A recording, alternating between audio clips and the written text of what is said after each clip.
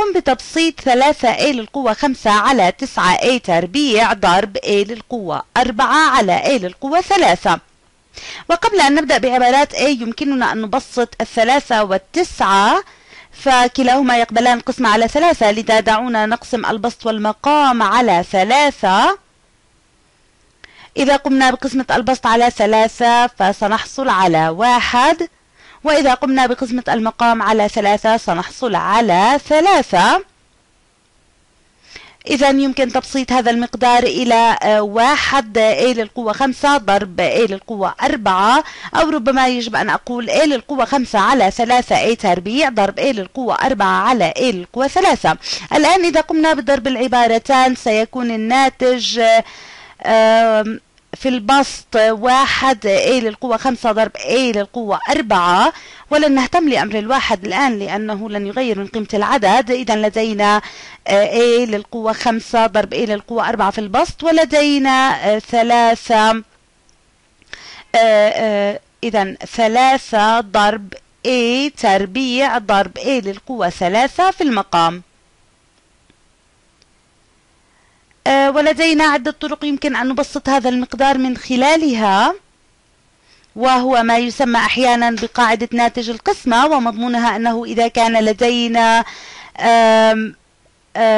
A للقوة X على A للقوة Y سيكون الناتج A للقوة X ناقص Y. ولتفهم سبب نجاح الخاصية دعونا نفكر في A للقوة 5 على A تربيع. A للقوة خمسة تعني حرفيا A ضرب A ضرب A ضرب A ضرب A. إذا هذه عبارة عن A للقوة خمسة ولدينا A تربيع وسأفكر بها هنا. إذا لدينا هذا المقدار A تربيع أي A ضرب A. هذه هي A تربيع. الآن يمكننا أن نلاحظ بكل وضوح أن البسط والمقام كلاهما يقبل القسمة على A ضرب A. أي يمكننا أن نقسمهما على A ضرب A إذا قسمنا البسط على A ضرب A سنتخلص من A ضرب A. وإذا آه، قسمنا المقام على A ضرب A فسنحصل على واحد. فما هو الناتج النهائي الذي حصلنا عليه؟ حصلنا على A ضرب A ضرب A. على واحد أي A ضرب A ضرب A A ضرب A ضرب A لكن ما هذا؟ هذه A للقوة ثلاثة أو A للقوة خمسة ناقص اثنان آه إذا لدينا خمسة ونريد أن نطرح اثنان منها فيتبقى لدينا ثلاثة يمكننا فعل نفس الشيء هنا. يمكن تطبيق قاعدة ناتج القسمة وسأقوم بها من خلال طريقتين. لذا دعونا نقوم بتطبيق قاعدة ناتج القسمة على A للقوة 5 و A تربيع. وأيضا دعوني أقوم بها بهذه الطريقة. دعونا نقوم بتطبيقها على هذان المقداران. ومن ثم نطبقها على هذان هنا. ويجب أن لا ننسى أن لدينا ثلث أيضا. إذا يمكن تبسيط العبارة كالتالي. ثلث ضرب. إذا قمنا بتطبيق قاعدة ناتج القسمة على A للقوة 5 على A تربيع سأقوم بذلك هنا. سيكون الناتج A للقوة 3 وإذا طبقناها على A للقوة 4 على A للقوة 3 سيكون الناتج سأكتب بنفس اللون الأزرق. لا. ليس هذا اللون. A للقوة أربعة ناقص ثلاثة أي A للقوة واحد. ويمكننا تبسيطها إلى A للقوة ثلاثة ضرب A.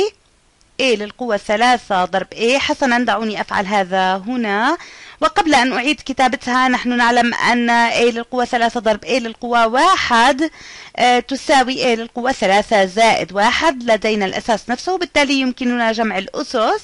نضرب A بنفسها ثلاث مرات ومن ثم نضربها ب A واحدة فيكون الناتج A للقوة أربعة. إذا يصبح لدينا A للقوة أربعة هي عبارة عن A للقوة ثلاثة زائد واحد. آه، ومن ثم علينا أن نضرب المقدار بثلث. إذا سيكون الناتج ثلث A للقوة أربعة أو يمكن كتابته كالتالي A للقوة أربعة على ثلاثة.